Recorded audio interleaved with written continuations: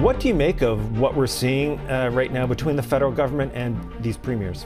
Yeah, this is a gift political gift to Danielle Smith. Now you've got Smith saying, well, look, uh, we you know burn fossil fuels in Alberta, natural gas. Why don't we get a break? And it's not just her saying this. Now you've got even the NDP, the opposition in Alberta, saying, yeah, hey Trudeau, you just can't carve out these things for certain areas of the country. We deserve this kind of break too. So you have.